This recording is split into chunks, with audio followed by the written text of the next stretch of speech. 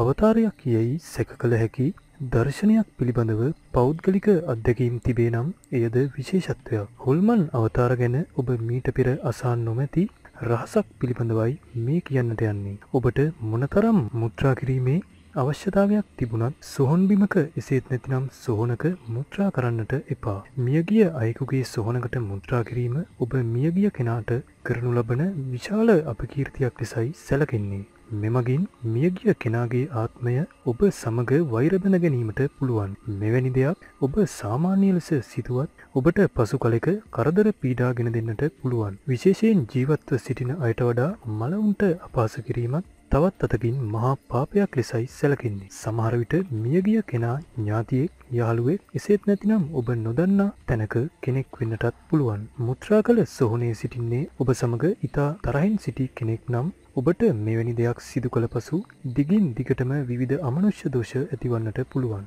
කෙසේ වෙතත් අමනුෂ්‍ය බලවේග කියන්නේ එක පිරිසක් විශ්වාස කළත් තවත් පිරිසක් ගණන් ගන්නේවත් නැති දෙයක්. ඉතින් ඔබ නැති ප්‍රශ්න ඇති කරගන්නේ නැතිව මෙවැනි දේවල් නොකර ඉන්නවා නම් කාටත් හොඳයි. ඒ වගේම ඔයාගේ ගෞරවය සහ මියගිය කෙනාගේ ගෞරවයත් රැකෙනවා. මේ ගැන ඔබගේ විශ්වාසය හෝ අවිශ්වාසය ගැනත් අපට කියන්නට අමතක කරන්නට එපා. මෙවැනි වීඩියෝ දිනපතා නැරඹීමට පහත බටන් එක ක්ලික් කර අපව සබස්ක්‍රයිබ් කරන්න. ඒ වගේම කුඩා සීනුව එබුවොත් අලුත් වීඩියෝ දාපු ගමන් ඔයාලට දැනගන්නත් පුළුවන්.